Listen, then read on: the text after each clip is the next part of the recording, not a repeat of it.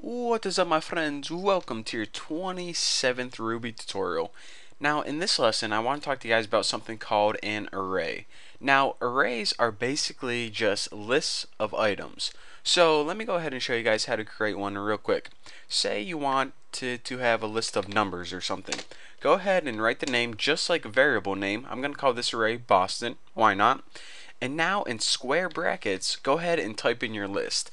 Now, in your array, you can have a bunch of different things like numbers. You can have like people's names, string arrays. But I'm just going to go ahead and create a real simple list of numbers.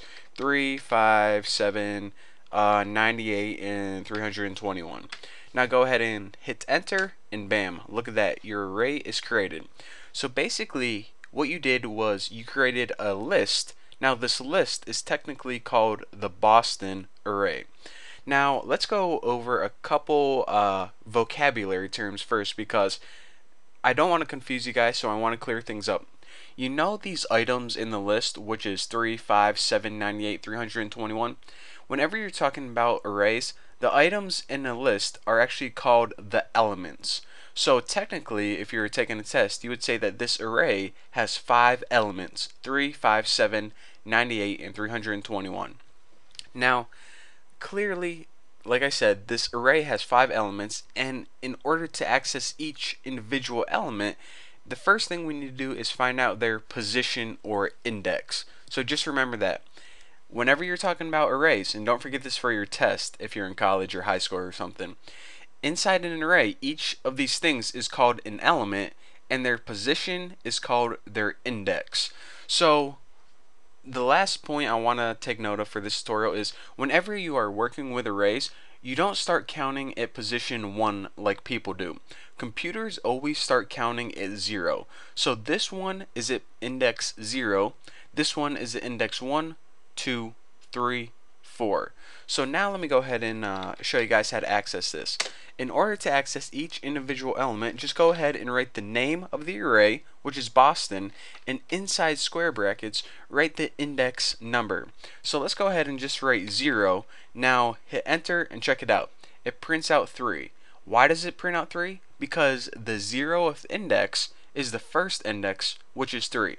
So now let's go ahead and do another one like, um, I don't know, 3, and check it out. Can you guys guess what we're going to get? This is 0, 1, 2, 3. So we should get 98. Bam. 98 right there. So that is basically how to access the individual elements in an array. Basically, just write the array name and the index right after it. And this one goes from 0 to 4. Now you can also do things other than printing it out. For example, if you wanted to change the value of one of the elements, check it out. Go ahead and write the name just like you would whenever accessing a variable. Now let's change the um, value of this third one, which is 0, 1, 2. So right now, Boston 2 equals 7. See that? But we want to change the value of it. So let's just go ahead and assign a new value just like we were changing the value of a variable. So now instead of 7, let's give it a value of 66. So basically we're saying, okay, instead of having 7 at location number 2, we want to change that value to 66. Now go ahead and hit enter and it says 66.